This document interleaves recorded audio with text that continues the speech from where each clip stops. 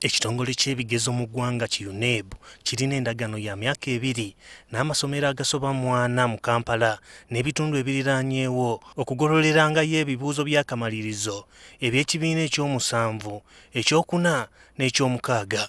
Omulimu guno bulijjo gubadde nga gukolebwa mu biseera bya luwummula lw'olusoma olwokusatu wabula embeera ya covid-19 yaleetawo enkyukakyuka mu budde abayizi bwe baakoleramu ebigezo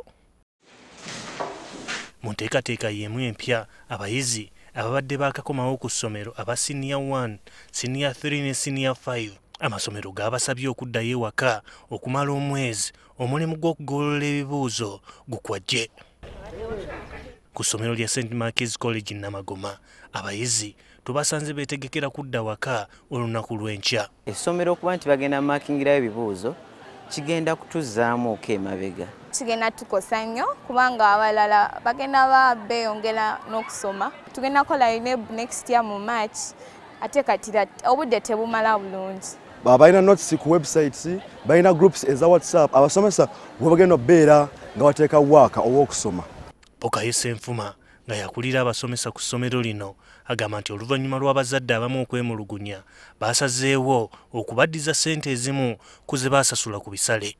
N'abaana bennyini tubadde twakabazza mu mbeera y'okuba nti badda mu sisitimu y'essomero ng'obwongo obwali bwebase buzuukuse kati mu kaseera kano tufunye okutawaanyizibwa naye olwokuba nti tuli mu contract twali tetuna kyakkola abazadde abamu abaana bava wala baali bakabaleeta transport school fees abamu baali bakazimalayo kati abasinga badde beeraliikirira school fees tugenda kukola lutya amazima abaana aba senior one bo twasazeewo.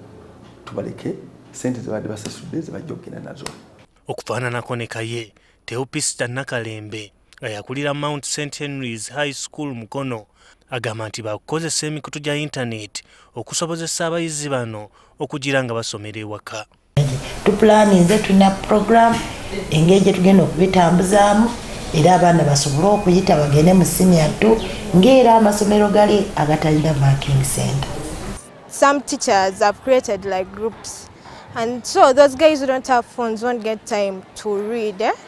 And even some guys who have phones won't concentrate much wabula ye akulira ekitongole kyuneb daniel nokurach odongo akkaanyizza n'amasomero tikyakubataataaganya kyokka n'asaba abayizi n'abazadde okubagumiikiriza we really want to appeal to the parents and uh, the learners to understand that this situation is something that has been imposed on us.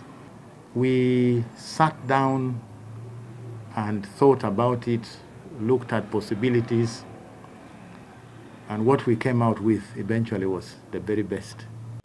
bwe tumubuuzizza lwaki kino tekyakolebwa mu kifo ekirala atutegeezezza nti kyali tekisoboka olw'ebyokwerinda ebyetaagisa okusobola okugolola ebibuuzo We don't have facilities which can host 19,000 people at once. So that's why we go to schools and then we put them into small you know, groups. odonga alina essuubi nti ebibuuzo ebiddako byagololwanga embeera ezzeeyo mu nteeko okusobola okubigolola ng'abaana bali mu luwummula